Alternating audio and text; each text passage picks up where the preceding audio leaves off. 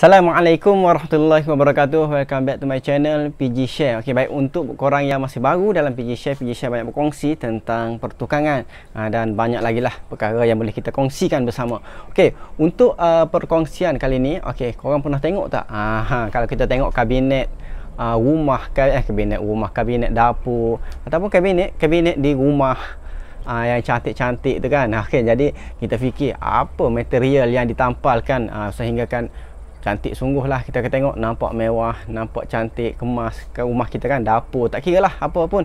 Ok jadi hari ni kita nak berkenalan ha, dengan bagi korang yang masih baru lah yang dah pro tu dia dah kenal dah kenal elok dah. Ok jadi yang mana nak masih uh, nak belajar ok saya nak kenalkan kita kenalkan apa itu uh, HPL ataupun kalau kat kampung ataupun tukang-tukang biasa panggil Formica. Ok Formica Formica ni ataupun HPL HPL ni apa dia? High pressure laminate. Ah high pressure laminate. Okey ah ni dia. Ah ni ni buku dia. Ah, apa dia ni?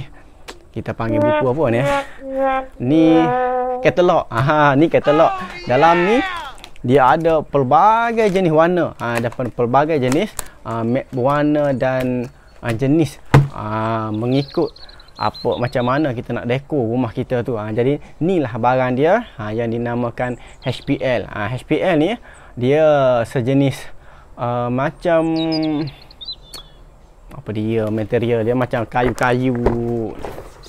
Ia press kan begitulah. Okey dan banyak lagi. Okay, kalau kita tengok sini ha, macam album album kahwin kan? Okey kita nak buat kabinet uh, boleh uh, dijadikan sebagai panduan uh, corak-corak uh, yang boleh kita lihat di sini. Okey jom kita tengok uh, satu persatu dan saya akan huraikan sedikit uh, yang mana jenis mahal yang mana jenis murah mampu milik dan tak mampu milik. Okey jom saya tunjukkan. Okey pertamanya okey jom kita tengok dulu ah ni album warna pink ni. Ha cantik saya pun suka warna pink ni. Okey baik.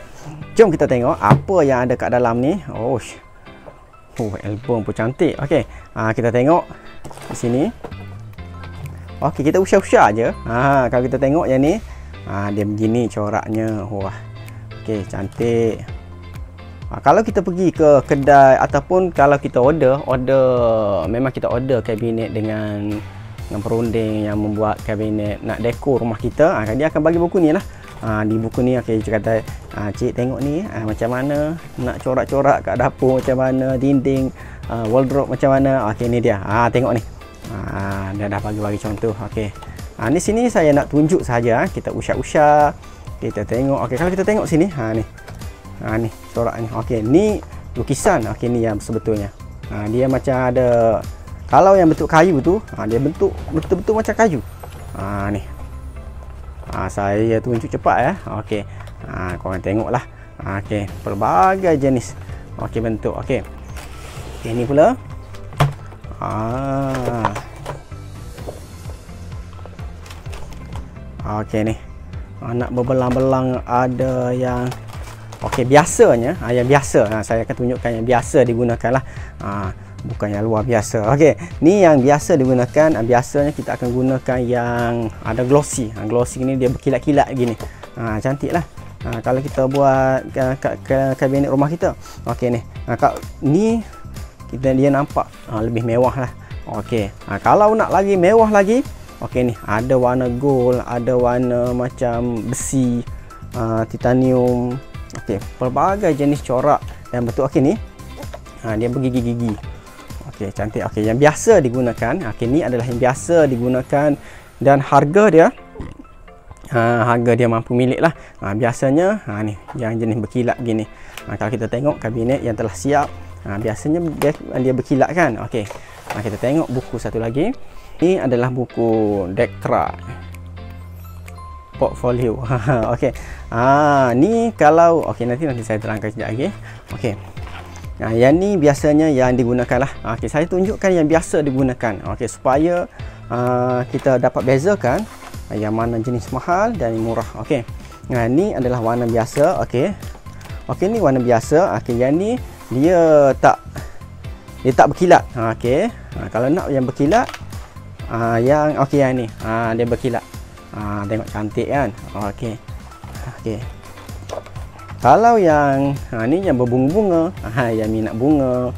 Okey, saya akan tunjukkan. Okey, kita bandingkan harga dulu. Okey, kalau yang material uh, sebegini, ha, yang okey macam inilah.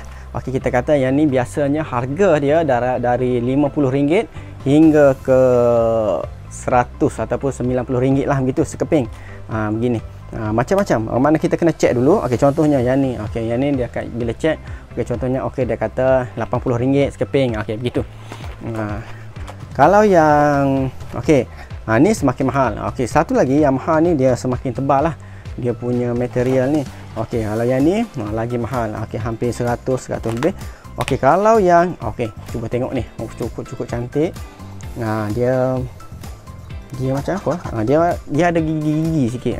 Cuma kalau kita nak letak kat dapur, bagi saya lah kurang sesuai. Cuma dia nampak mewah dapur kita kalau korang suka memasak tak sesuai lah nanti akan masuk daki-daki kan kalau korang tu ah, nak buat saja nak action aa, ah, yang ni memang cukup cantik ok kalau kita tengok ok ni hmm. ok yang mahal ok kalau korang tengok tadi dari depan aa, hingga belakang. Ok ke belakang ni dia dah semakin mahal. Ok semakin mahal. Kalau yang ni, ni dah dah harga dia 100 lebih. Ha, yang ni baru 100 100 lebih. Sedikit ya 100 120 gitu saja.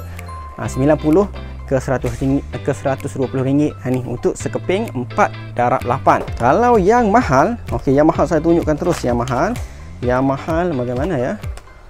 Ah okey ni dah semakin mahal okey ni yang mahal ha yang ini ha, dah 100 setengah ke 200 lebih. Ha, sekeping. 4 darab 8 okey ni.